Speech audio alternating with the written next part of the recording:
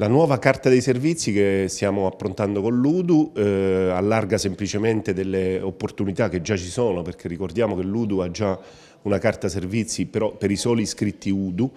che dà loro la possibilità agli studenti di avere delle agevolazioni all'interno delle attività commerciali a Teramo e degli esercenti di somministrazione, bar e ristoranti. E con questa nuova carta dei servizi su sollecitazione degli studenti e dell'UDU vorremmo allargare a tutti gli studenti universitari i servizi che oggi invece eh, sono solamente eh, per l'UDU e quindi quando avremo attivato questa nuova carta dei servizi con il semplice badge eh,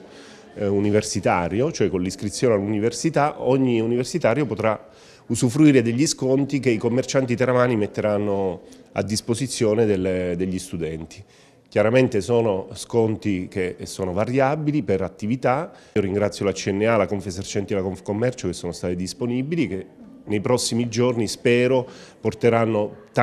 nuove, eh, nuovi commercianti ad aderire alla, alla Carta dei Servizi. Vorremmo fare un pomeriggio universitario con i commercianti per eh, promuovere la nuova carta servizi, stiamo pensando con l'UDU e con le associazioni di categoria come organizzarla, però siamo già a buon punto. Non abbiamo una data ma fra poco la, la, la pubblicizzeremo sicuramente.